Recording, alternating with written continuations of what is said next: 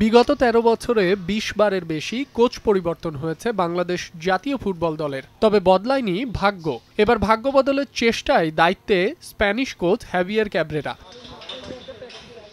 কোচের প্রথম মিশন মালদ্বীপ। সেই মিশন সামনে রেখে এই স্প্যানিয়ার্ডের অধীনে দ্বিতীয় দিনের মতো প্রস্তুতি সেরেছে বাংলাদেশ ফুটবল দল।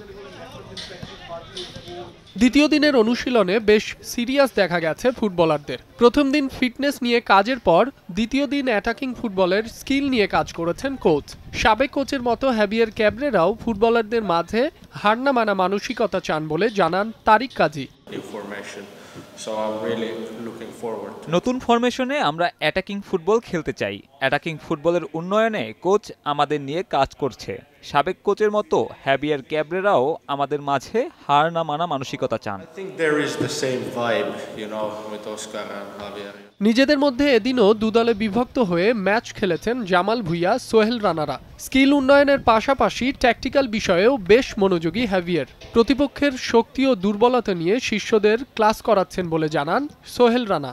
কোচ যেভাবে প্ল্যানিং করতেছে মালদ্বীপের সাথে খেলা সো অবশ্যই একটা ক্রিটিক্যাল একটা ইম্পর্টেন্ট একটা রোল আর মিডফিল্ডের পালন করতে হবে। মালদ্বীপের অনেক কিছু নিয়ে স্ট্রং জিনিস নিয়ে ওদের ভালো অ্যাটাক কীভাবে করে উইক পয়েন্ট সব কিছু নিয়ে কোচ আমাদের কাজ করতেছে এখন।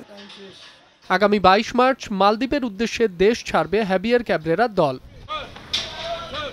মাসুম রাব্বি সময় সংবাদ ঢাকা।